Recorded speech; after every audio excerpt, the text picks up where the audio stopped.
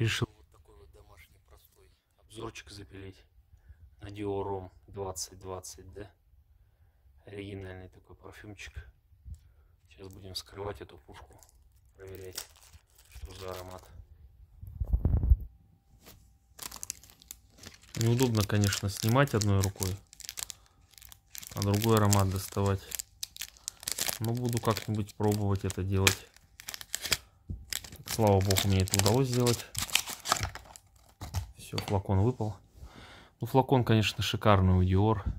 Флаконы у Dior, честно, шикарнее, чем у Шанели, допустим. Это сто процентов. Всю жизнь ничего ни хрена не фокусируется. Так, вот здесь вот на трубочке должен быть Dior написано. Сейчас я попробую увеличить, посмотреть. Короче, нифига вот он не увеличивает телефон. Но надпись есть. Вот он, Dior. Так отличается подделка, да? Сейчас будем наносить, тестить, пробовать, что за диорчик на распив пришел. Так, муха, цикатуха, пчела у нас на месте. Я ее называю пчелой, а не муха, потому что мне так комфортнее, приятнее. У меня этот парфюм уже, конечно, покупали сколько раз. Так, по ценам, что я могу сказать? По ценам 8, ой, 8 миллилитров загнался. 12 миллилитров в моей ручке полторы тысячи рублей. 6 миллилитров половинка ручки, да? 1000 рублей. Флакончик стоит 100 миллилитров. Вот этот вот 16 тысяч оригинал. Полтинничек стоит 12 тысяч. Такие вот цены. Так, сейчас буду наносить. Положу телефон. Не обращайте внимания, у меня такой бардачело маленький дома. Так, холостой пшик раз, холостой пшик два. Все, пошел душ поливательный.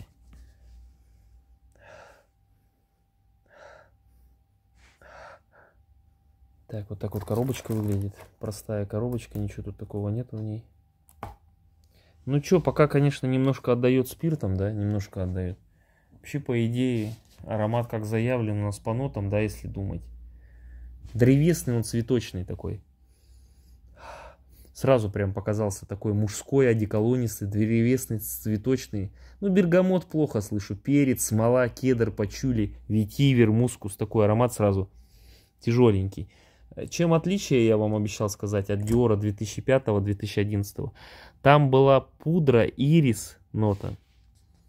Пудра ирис, да, вот так его положу, чтобы не видно было мою одежду. А тут у нас, тут у нас такой типа он теплый, чувственный, древесный.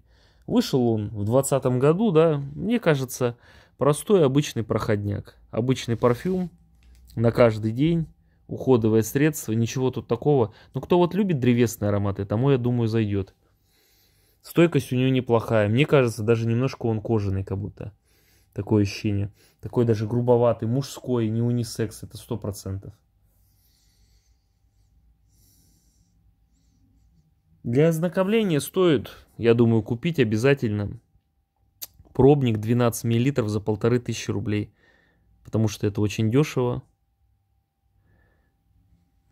Либо 6 мл за 1000 рублей. Ну, флакон могу порекомендовать 8 из 10.